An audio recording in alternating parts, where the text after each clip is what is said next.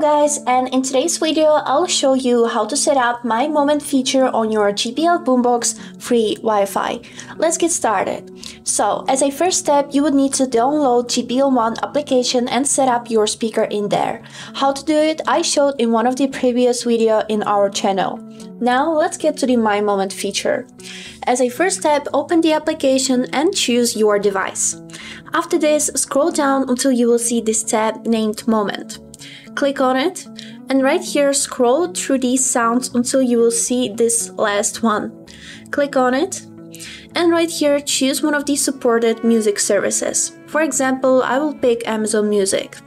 Right here you can choose which song or playlist you would like to add to your My Moment. From your playlist, stations, charge, recommended, new or My Music. I will click on My Music and click Tracks.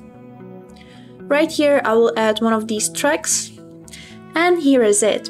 Now let me show you how this feature works. So on your speaker you'd be able to see this button which looks like heart.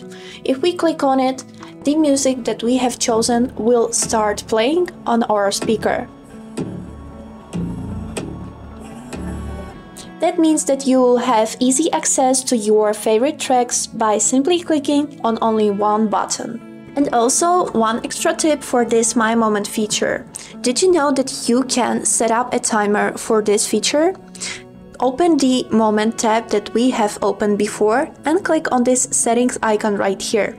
And right here you'd be able to enable or disable the timer, which will auto-stop playback in some type after triggering the Moment button. If you will click on it to turn it on, you can choose in which time the playback will stop, from 15 minutes to 1 hour. And that's it!